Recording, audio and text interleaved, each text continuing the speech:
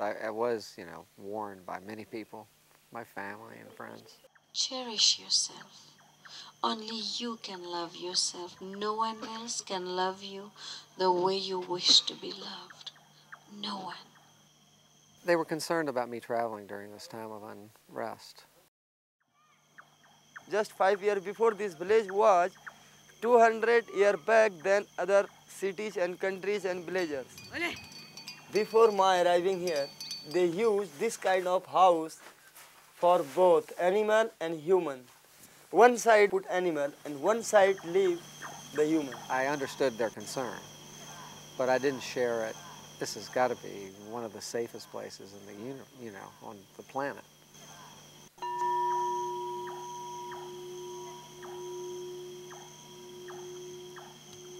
Every year a group is coming and around this time when the road is open, when it's easier, and Ma is giving a workshop here. Thank you for being clean in the kitchen. I like that very much.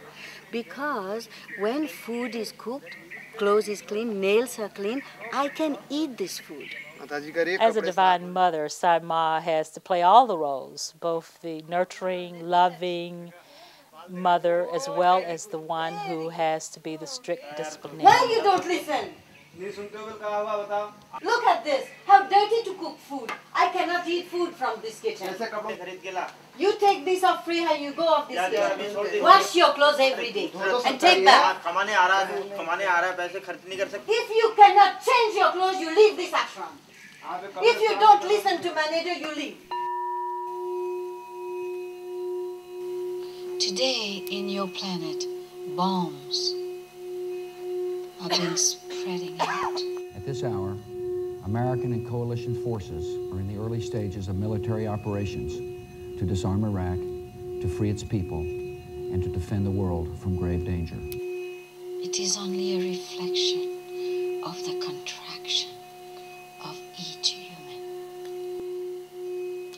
When the contraction and fear of each human will dissolve from themselves, there will be no war on your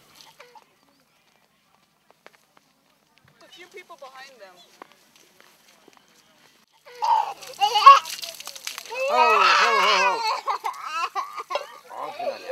The problem is that there is no hygiene and they don't cut their fingernails. And then, scratching their body with the fingernails, they're wounding themselves.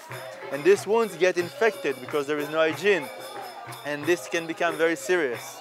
Slowly, slowly, they're learning, but we are changing tradition of hundreds of years. We have to understand. It takes time. I know that this is a little speck in the ocean globally, but um, it's what we can do now.